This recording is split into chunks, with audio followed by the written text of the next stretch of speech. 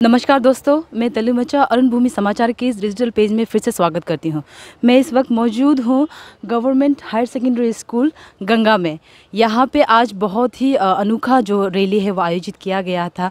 हम देख सकते हैं कि यहाँ पे तबको तबेको फ्री स्कूल के लिए जो बैनर लगा हुआ है, इसमें हम जानते हैं कि जितने भी स्कूल है उसके हंड्रेड मीटर्स के दायरे के अंदर को किसी भी नशीले पदार्थ जिसमें अल्कोहल हो गया तबेकू हो गया और बीड़ी सिगरेट जो जि, जिस प्रकार के जो जितने भी ऐसे जो नशीले पदार्थ है वो सारे बैंड है यानी कि वो ये आप कह सकते हैं कि ये सारी चीज़ें स्कूल के हंड्रेड मीटर्स के अंदर नहीं होना चाहिए। लेकिन यहाँ पर बे- बेचा जाता है जिसको देखते हुए स्कूल के प्रशासन और बच्चों ने मिलकर खुद से मुहिम उठाई है और उन्होंने आज इसके प्रदर्शन के लिए कुछ रैलियाँ निकाली है और इसके साथ उनके टीचर्स भी जुड़े रहे। आए देखते हैं उन्होंने किस प्रकार से ये रैलियाँ की है। सिगरेट पीना छोड़ दो। बीमारी से दूर रहो। सिगरेट पीना छोड़ दो। बीमारी से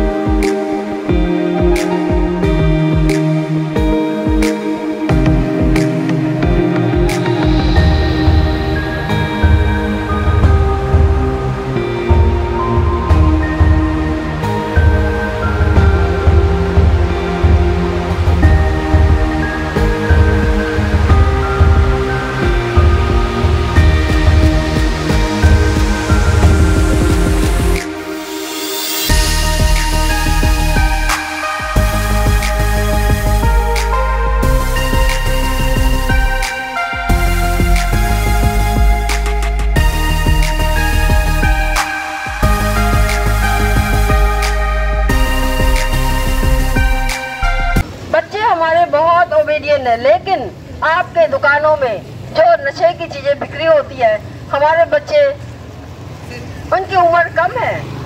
नहीं जान के खा पी लेते हैं। आप लोगों को मना करना चाहिए कि बच्चों, ये आप लोगों के लिए नुकसान है। प्लीज़ सभी दुकानदारों से हमारा यही रिक्वेस्ट है कि नशे की चीज़ें बच्चों को ना दिया जाए।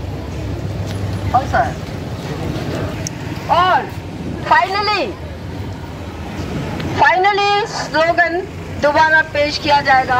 आप लोग बोलेंगे, एक साथ बोलेंगे, ठीक है? हम बोलेंगे, आप स्लोगन का जवाब देंगे। आप दुकानदार हमारे साथ एक दुकानदार शामिल हो चुके हैं। एक भाई जो दुकान चलाते हैं। आप भी मंजूर है ना? जो हम स्लोगन कर रहे हैं या जो हम रैली निकाल रहे हैं, आप सही सोचते हैं या नहीं? थैंक यू अगर आप सही सोचते हैं। क्योंकि ये हमारे बच्चों की ज़िंदगी का सवाल है। बेटा हम बोलेंगे, आप लोग जवाब देंगे, ठीक है?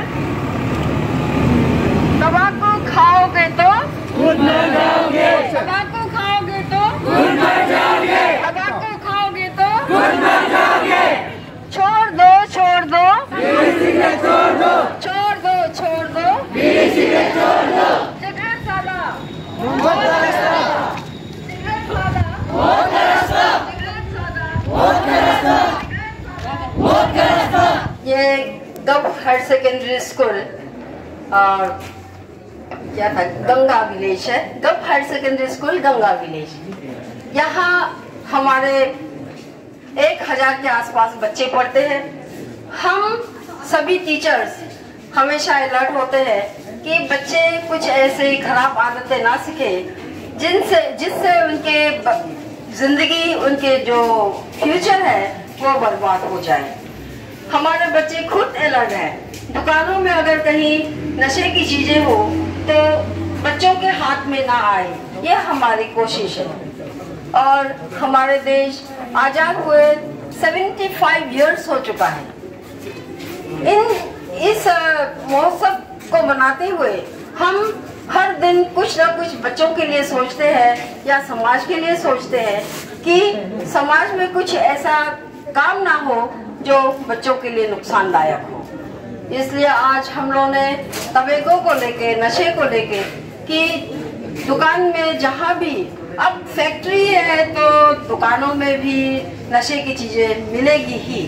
लेकिन हम सोचते हैं कि हमारे बच्चों को इन नशाखोरी की चीज़ों का असर ना हो, उनके सामने ना आए। तो हमारे बच्चे भी अलर्ट हैं। हर कोई बच्चा चाहता है उनकी ज़िंदगी सुखी हो। अगर सुखी ज़िंदगी होना है तो इन सब चीज़ों से दूर होना ज़रूरी है।